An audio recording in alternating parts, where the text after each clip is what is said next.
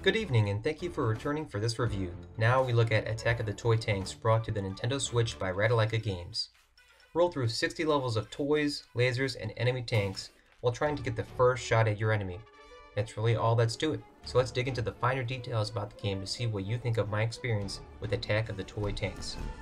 Before the music or visuals can be enjoyed, the controls bring the game to a screeching halt. From watching gameplay prior, I figured the controls would simply be twin stick, the moment the game begins, the controls feel like the clunky version of what I had hoped for. Your tank moves slowly which contributes to the wonky feeling, but I feel that it could be improved, and if done, would make playing the game a better time. The two left triggers move forward and backwards, while the right triggers both shoot your bomb that detonates on impact, or seconds later if left untouched. If you've come to the unfortunate end or foresee it, the X button will restart the level. I like that because I clicked it before the end sequence to avoid the bummer horn sound. There's a second choice for controller layout, but it still has an odd feel to it.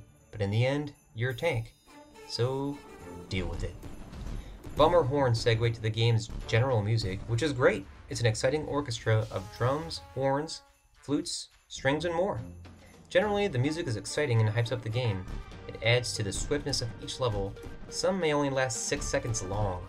The shortness of the levels and the hype music go hand in hand in a good way, just think, if it were relaxing music, how whack would that be? Tanks are known for their strong armor, but not in Attack of the Toy Tanks. One-hit kills are the name of the game, as your enemies live by the same rules. Use this to your advantage by shooting what is essentially a grenade near your enemies in hopes of it exploding once they draw near it. I honestly didn't figure this out until about 16 levels in, as I was just simply shooting enemies head on. There are angled corners you can bank the grenade off to hit or land close to a bad guy. Your grenades can be used against you as well, so beware. Difficulty ramps up a bit, but overall, it starts at a decent height. The beginning can be a bit unforgiving as you get a handle on the controls. Enemies will fire at the first sight of you and will result in a quickly ended match. Each level is judged on time and rating.